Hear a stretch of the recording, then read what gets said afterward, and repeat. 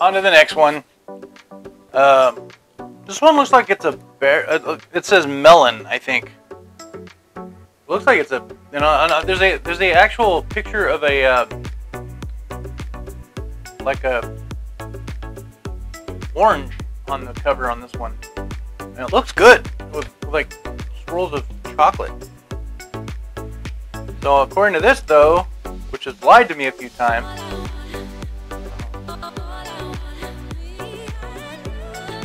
is not on there. It's not on there. Weird. You let me down, pamphlet. There we go.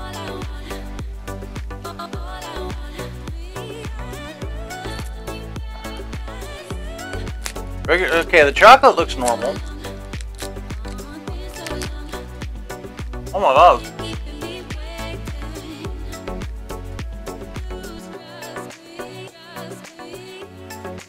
As soon as I bite into it, there's like a citrus in your face.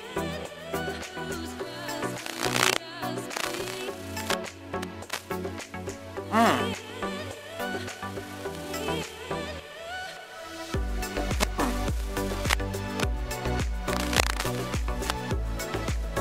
Orange flavored Kit Kats are the shit. That's an 8. Mmm. Japan, you got something going on. Mmm, that's some good shit, man. That was an 8. That's, oh, that redeemed the dark chocolate. Alright, nerds. I hope you enjoyed it. We'll see you next week when we do some more. Till then, stay nerdy, stay sexy.